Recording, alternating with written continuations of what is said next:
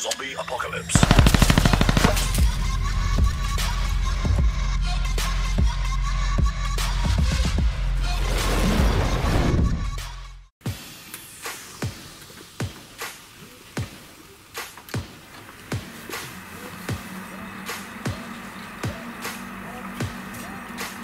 What is happening guys? Today we have another PC build for you. This one, something a bit different, something simple. Um, this is actually a build for one of my mates and we've put this together. And a few of you have requested a how to liquid cool guide. So I thought I'd just use this opportunity and this build to show you how we went about liquid cooling and how we came up with the solution we have how to manage the liquid and how we went about installing all of the components and filling the loop. So I hope you guys enjoy. Okay guys, so something I like to start off right right off the bat is I like to have my reservoir above my pump.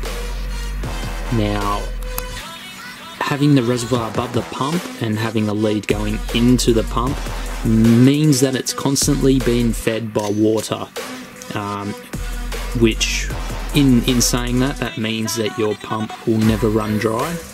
Um, so therefore, it should have a longer life. Because if your pump is running dry, then it could cause problems. Now, having it above there, so the liquid will always be gravity fed down to the pump having it above it. So that's where I like to have a reservoir just above the pump, and which this is why also you can get the um, pump reservoir combos, and they make sure that the pump's on the bottom because that way the liquid is always being provided to the pump. So straight off the bat, that's one thing I'd recommend in a build. Now, second thing here is it is good to have a main component being cooled straight out of the radiator. Now, it doesn't have to be done, it's not a necessity, but it is good if that could happen. So, with this particular loop, um, we actually are not cooling a main component straight out of the radiator. The main reason is because of the loop design that he wanted. So, what we're doing here is we're going from radiator to reservoir to pump to graphics card to CPU and then back up. Now, in saying that, your temperature shouldn't really vary from about around 2 degrees throughout the whole loop. Your temperatures won't vary, so it's not it's not a main sort of priority that you have to have with the radiator going straight into a main component, but it is good to have if you want those cooler temperatures, but you know, it, it's only a few degrees here and there, so it's not really a main priority here. Now, down here you can see that we have an open uh, free port there, and we actually have two underneath there. Um, so with this loop, we were going to put a bit of a fill port valve thing in there, but we decided not to because this was the cleaner look. Um, so what we're going to do is when we need to drain this liquid, we actually have a funnel connected to a tube, so we'll just place that under there. The liquid will drain out of the reservoir, and then to get the remaining liquid out of the um, radiator, you just sort of tilt the case sideways and you know just sort of get the liquid running down. Just use gravity to get it all out, and it should drain through this port there. And there's two ports underneath, straight into the um, the tube that we have with the funnel, and straight out. So that's a nice easy option to have if you don't want a big bulky fitting there such as a valve or anything like that to drain all that and it does work nicely. Now, you may also notice that it's very hard for us to fill this thing because we have no fill ports. So, what I did is I came up with a similar solution as I did with my desk. Now, if you think about it, my desk is pretty much a computer laying on its side. So what we did for this option here is we tilted the case on its side and laid it down and you'll see that on the front of the pump there is an in and an out. So once again we grabbed our funnel and some tubing.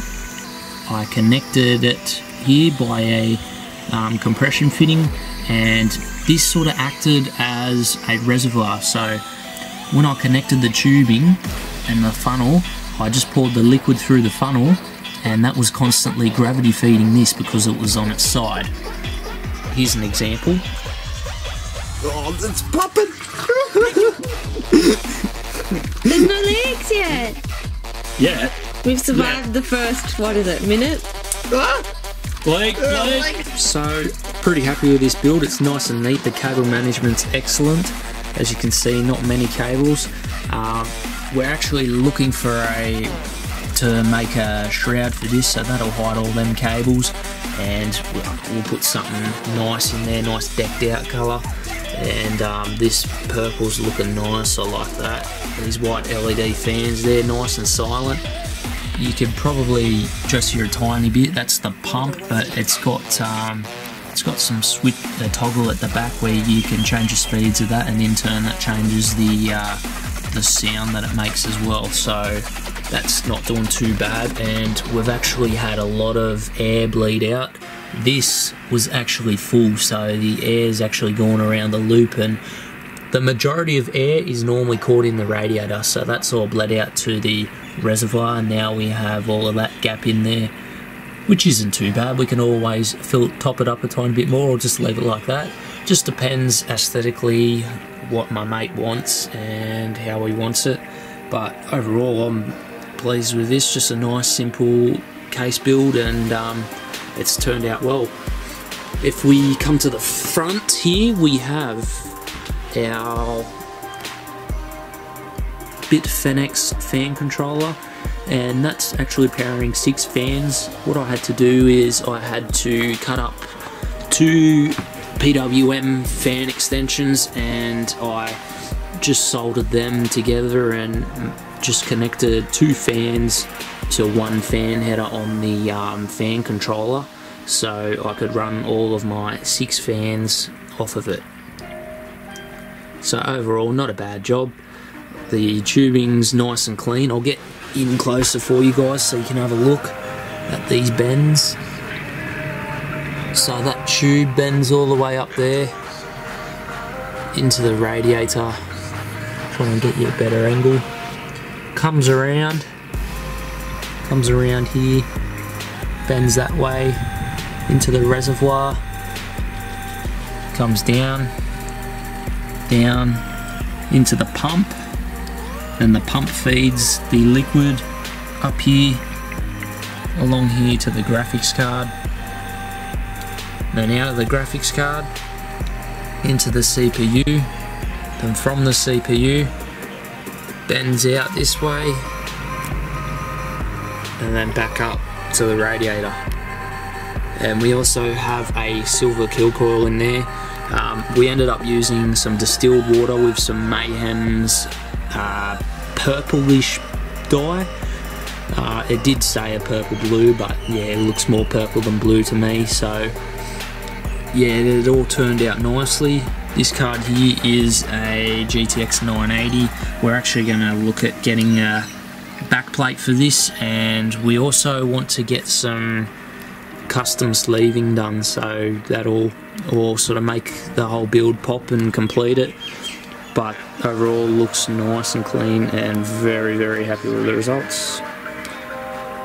Alright guys thanks for watching this video. I hope you enjoyed it please stay tuned ask any questions you need maybe even comment and tell me what you want me to film what you want to know what if there's any guides you want me to do, just let me know in the comments below and we'll see you next time. Thanks guys.